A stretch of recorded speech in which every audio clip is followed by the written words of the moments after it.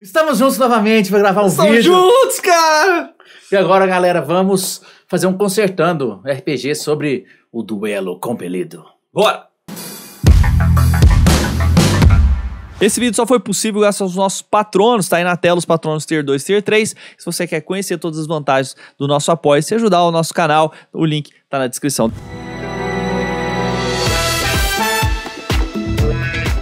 O Caio Menezes Ferreira pediu pra gente consertar a magia do duelo com ele. Ele falou que é ruim demais, que é horrível, que é péssimo.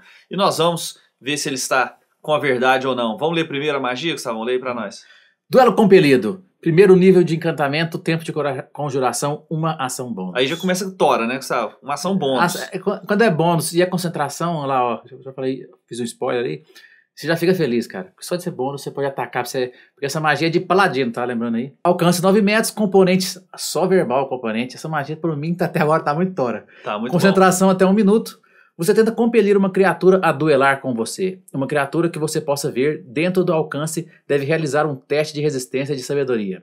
Se falhar, a criatura é atraída por você, compelida pela sua exigência divina. Pela duração, ela tem van- desvantagens nas jogadas de ataque contra criaturas diferentes de você e deve realizar um teste de resistência de sabedoria cada vez que tentar se mover para um espaço que esteja a mais de 9 metros de você. Se ela passar no teste de resistência, essa magia não restringirá o movimento alvo nesse turno. A magia termina se você atacar qualquer outra criatura. Se você conjurar uma magia que afete uma criatura hostil diferente do alvo. Se uma criatura amigável você causar ou conjurar uma magia nociva nele. Ou se você terminar seu turno a mais de 9 metros do alvo. E aí, primeiro, vamos, vamos pensar um pouquinho sobre essa magia, assim, o que, que, que você achou dela, de maneira geral? Cara, eu acho que ela é forte. Porque ela é bônus é, action. Tá que você tem que. O único problema dela, se você fosse ver assim, seria o fato dela ser concentração. Concentração. Mas. O Paladino só quer que é mais magia dando Divine Smite, então tá ótimo, não tem problema não. Mas ela compensa, porque basicamente o, o, o papel do paladino ali é meio que fica, realmente receber os golpes, o tanque. É lógico que você tá todo mundo brigando contra a, própria- a mesma criatura, fica difícil de usar, porque aí toda vez que o pessoal der dano nela, ela vai quebrar a magia. Exatamente. Agora, se você, por exemplo, tá num, num negócio que você tá contra um chefe e tem vários minions, você pode fazer o chefe só atacar você, impedir ele de ficar jogando coisas nos seus amigos, e é, enquanto isso, eles vão derrotando os minions dos chefes. Jogando coisas não, né? Atacando, né? Porque se você for ler a magia assim, Ipsiliteris. é só ataques. É. Ela poderia jogar um- uma bola, Bola de, de fogo, ela fogo. poderia jogar uma magia nos outros. Que aí seria outra coisa que talvez poderia mudar. Mas, na, na nossa visão, né? Em geral, a gente acha ela uma magia que não precisaria de nada. Por uma mudar. magia level 1, né, Porque ela é level 1, Tipo, justamente é, isso. Não sei se teria muita. Assim, se precisaria mudar. Na minha opinião, não. Pra mim tá legal. Ela tem restrição e tem coisas boas. Tem um, um nicho específico pra você usar e tá na classe certa. Mas, como a gente muda tudo que os nossos queridos fãs pedem, né? a cara, gente tem muda soluções mesmo, aqui, cara. mesmo A aqui. gente tem soluções aqui. Vamos falar três jeitos de você poder mudar essa magia. Vamos lá, Gustavo. Então acho que a primeira coisa que a gente, isso aí vai ter nos três, nas três maneiras, que não é só ataque. Se o cara for jogar uma magia, a magia tem que pegar você, ela tem que ser alvo em você. Se ela for de área, ela é obrigada a pegar em você. Uhum. De alguma maneira, ele tem que fazer a área dela passar sobre você naquele quadrado ali. Ataques especiais tem que ser em você também. Então, tudo que o cara tem de ataque. realmente concentrar em você que vai ser o tanque. Então, isso vai ter em todas as nossas versões que a gente fizer aqui do duelo compelido. Isso. A primeira coisa que a gente pensou é fazer uma versão que não usa concentração e só dura até o final do, do próximo turno do seu inimigo.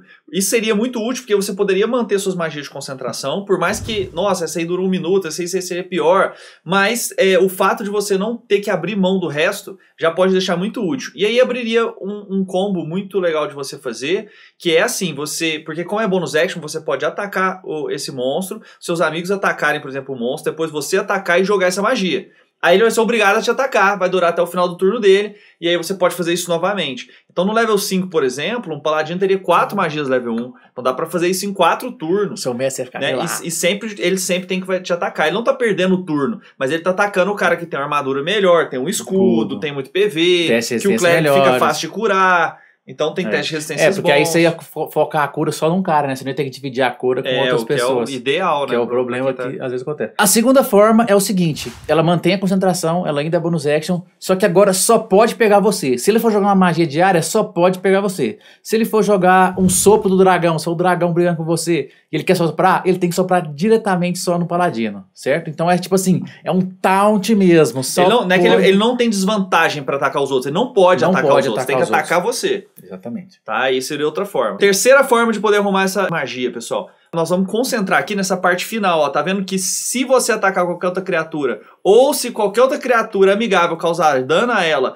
essa magia termina, ou se você ficar mais 9 metros, você mudaria isso. Quando uma criatura amigável ataca, ele tem direito a outro teste, mas ela não termina automaticamente. Então isso seria útil porque não necessariamente você quebraria toda vez que os seus amigos atacassem. Seria, se for quatro ataques, né, toda vez vai ter quatro chances de passar, é, mas mas pelo menos não é automático. eu, né? essa seria a que tá mais ficaria mais próxima do que é a magia agora, É, né? Seria um E que- pequeno boost, né? que provavelmente na qualquer mestre acho que aceitaria, porque a a chance dele passar num grupo que tem quatro pessoas, ele ia ter, ah, depois do seu turno, ele ia ter três chances de passar de novo, mesmo se você batesse nele. Então, sei lá, acho que compensa.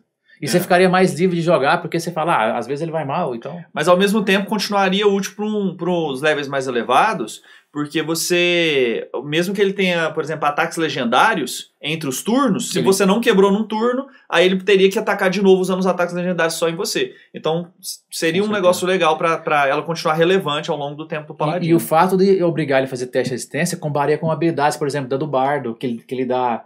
Que ele consegue diminu Diminuir, a com um chance, dá D8. desvantagem. Entendeu? Então, assim, combinaria, combaria com outras habilidades de outros, outros personagens, de outras classes, né? Então, assim, aumentaria o, o combo dos personagens.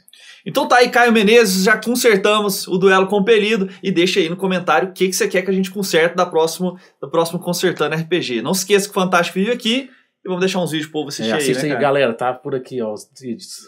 Falou!